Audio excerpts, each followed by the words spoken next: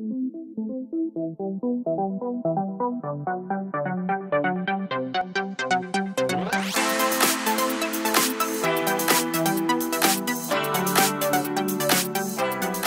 so Roblox posted some new skins parts.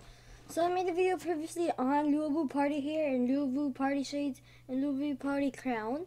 And now they added Luobu baseball cap, so now we can buy it, okay? So just click on it, press get, and you guys got the new Luobu baseball cap. It's now available all across the world.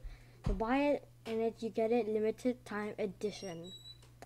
And it's limited time until, I think, like, um the 17th, uh, July 17 or something. So get it now, okay?